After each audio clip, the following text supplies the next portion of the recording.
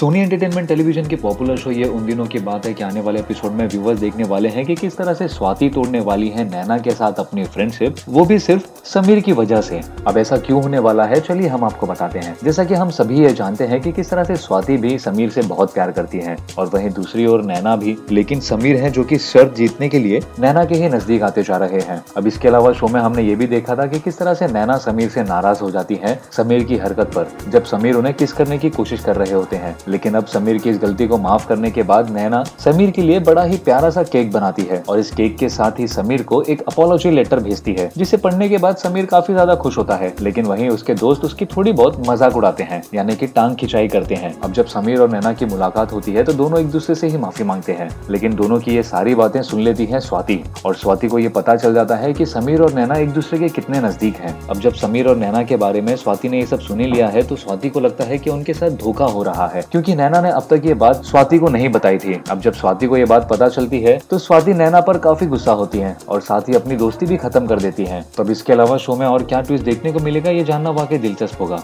आपको क्या लगता है? शेयर कीजिए कमेंट बॉक्स में। और टीवी से जुड़ी तमाम ऐसी चटपटी खबरों के लिए सब्सक्राइब करें हमारा चैनल टीवी प्राइम टाइम